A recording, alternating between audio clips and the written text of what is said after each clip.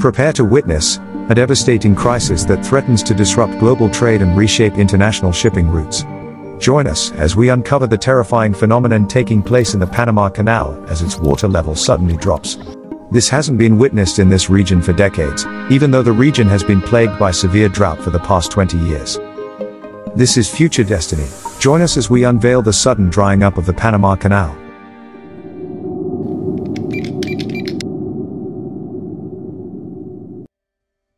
The construction of the Panama Canal is a remarkable tale of engineering and international cooperation, which has contributed to the transportation of goods and persons within the North and Central America continent. But before we proceed, let's have a brief history of the Panama Canal. The idea of constructing a canal through the narrow Isthmus of Panama to connect the Atlantic and Pacific Oceans dates back to the early days of European exploration in the Americas. However, it wasn't until the late 19th century that serious efforts were made to turn this concept into a reality. In the early 1880s, the French, led by Ferdinand de Lesseps, who had successfully constructed the Suez Canal, took on the ambitious task of building a canal through Panama. The project faced numerous challenges, including tropical diseases like malaria and yellow fever, treacherous terrain, and financial difficulties. Despite initial progress, the French effort eventually faltered, largely due to the immense challenges they encountered. In 1903, the United States, under President Theodore Roosevelt, saw the strategic and economic value of a canal in Central America. The Panama Canal Zone, a 10-mile wide strip of land, was acquired from Colombia through diplomatic negotiations and a subsequent revolution supported by the US government. Under the leadership of John Frank Stevens and later George Washington Goethals, American engineers took charge of the project. They overcame the formidable obstacles of the region, including dense jungles, swamps, and landslides, while implementing innovative engineering techniques. The construction of the canal involved the excavation of an estimated 170 million cubic yards of earth, the creation of a vast system of locks to overcome the differences in elevation between the oceans, and the establishment of a freshwater lake, Gatun Lake, as a central component of the canal's waterway. Finally, on August 15, 1914, the Panama Canal was officially opened to international maritime traffic. The completion of the canal revolutionized global shipping, providing a shortcut between the Atlantic and Pacific Oceans, saving ships thousands of miles of travel around the southern tip of South America. The United States maintained control of the Panama Canal until December 31, 1999, when it was handed over to Panama under the terms of the Torrijos-Carter Treaties, signed in 1977. The Panama Canal stands as a testament to human ingenuity and engineering prowess. It has played a critical role in global trade, facilitating the transportation of goods and significantly reducing travel times for ships traversing between the Atlantic and Pacific Oceans. However, the construction of the Panama Canal faced numerous significant challenges, and engineers had to devise creative solutions to overcome them.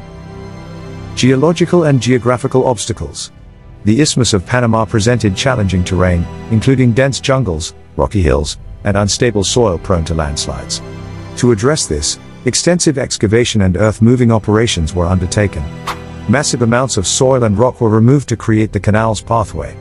Innovative engineering techniques, such as steam shovels, dredging equipment, and dynamite, were used to clear the way and create a navigable waterway through the isthmus. The canal required the creation of a reliable water source to maintain the water levels necessary for ship transportation. Gatun Lake, one of the largest artificial lakes in the world at the time, was created as a crucial component of the canal's waterway system. The lake collects water from the Chagres River and functions as a reservoir to maintain a consistent water supply for the lock's operation. As a result of heavy topography and mountain ranges, the construction of the canal was a challenging one, since it made it difficult for navigation. Therefore, they used a new technology. The adopted technology included creating a lock in different topographical regions.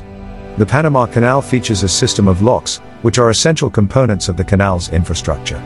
Locks are structures that enable ships to transit between different water levels and overcome the varying elevations along the canal route. The Panama Canal has three sets of locks, the Gatun locks, the Pedro Miguel locks, and the Miraflores locks. Each set of locks serves a specific purpose in facilitating the passage of ships through the canal.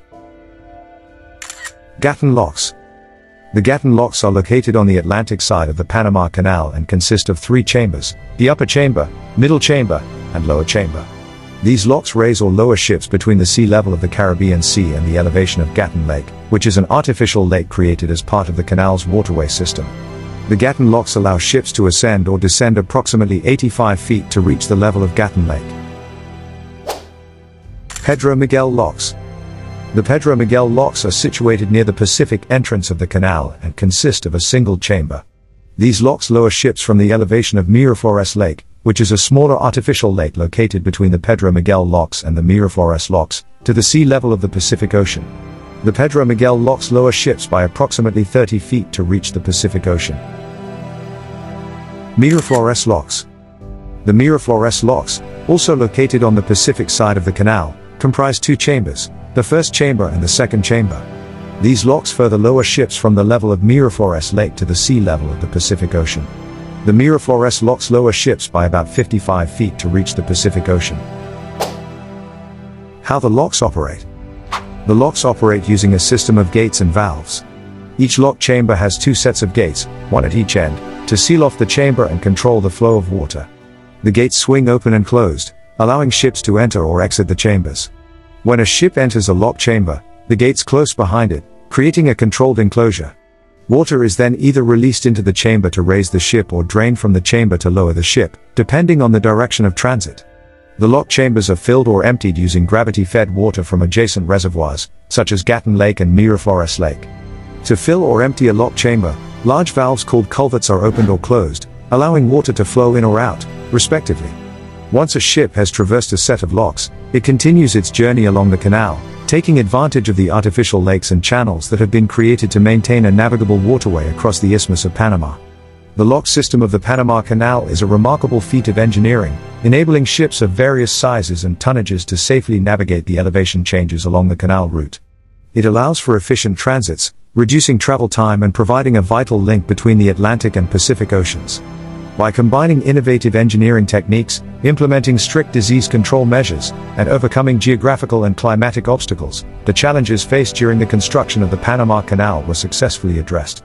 The collective efforts of engineers, workers, and administrators resulted in the completion of the canal, an engineering marvel that continues to facilitate global trade to this day.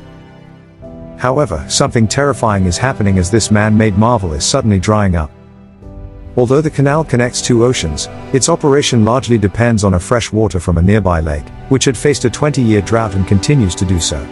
As a result, the water content for vessels to sail through it is insufficient and limited for local communities to drink. In August, the average wait time for ships went from less than a week to nearly a week and a half, creating a bottleneck. At some point in time, more than 160 ships were hanging out waiting for a Panama official to swipe right.